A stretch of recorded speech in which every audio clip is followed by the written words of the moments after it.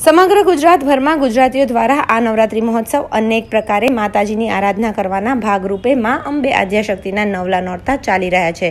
અને તેમાં ખાસ વાત કરીએ જામનગર શહેરની કે જેમાં એક પ્રાચીન ગરબી રંજીતનગર ખાતે હાથી કોલોની શેરી નંબર બે છેલ્લા છત્રીસ વર્ષથી આશાપુરા ગરબી મંડળ દ્વારા નવરાત્રિની શાનદાર ઉજવણી કરવામાં આવે છે. જેમાં આ વર્ષે એક્યાસી જેટલા બાળાઓ માતાજીના ગરબા તેમજ રાસ રમી આરાધના કરે છે. આ ગરબી મંડળમાં બાળાઓ દ્વારા જુદા જુદા પ્રકારના અનેક રાસોએ લોકોને મંત્રમુગ્ધ કર્યા છે. જેવા કે તલવાર રાસ નંદભયો મહાકાલી તાંડવ મોરબની થનગટ કરે સહિતના અનેક રાસો કરવામાં આવ્યા છે. અને એને જોવા માટે લોકો મોટી સંખ્યામાં ઉમટી પડે છે. ખૂબ જ આ ગરબી મંડળનું સંચાલન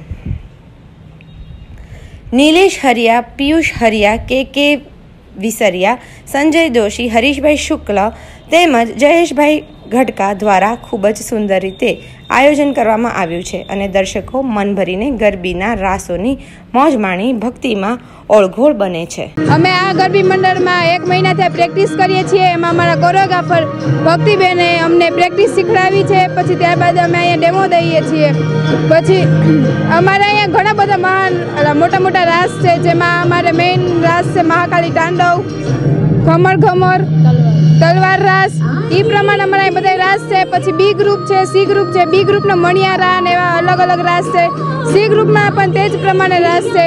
અમારા રાસમાં એક તલવાર રાસ છે, જેમાં બધાને એમ લાગે છે કે તલવાર રાસ ખાલી મોટા લોકો જ કરી શકે છે, પણ અમે આવી નાની નાની બાળાઓ થઈને પણ તલવાર રાસ કરી છે.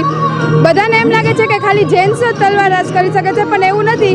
અમે લેડીઝ થઈને પણ આવી નાના બાળ, નાની નાની બાળાઓ રાસ કરી છે. એવી જ રીતના મને મહાકાલી તાંડવ છે, જેમાં મહાકાલીની આખી સ્ટોરી બતાવવામાં આવી છે. એનો ગુસ્સો, એ શાંત કેમ થાય છે, એ આખે આખું નવ દુર્ગા બધે બધું દેખાડવામાં આવ્યું છે. તેવી જ રીતે મને ઘમર ઘમર રાસ છે. ઘમર ઘમર રાસમાં અમારે કાનો નાનો હતી જ્યાં લગીન મોટો થાય છે, ત્યાં લગીનનું બધું જ દેખાડવામાં આવ્યું છે.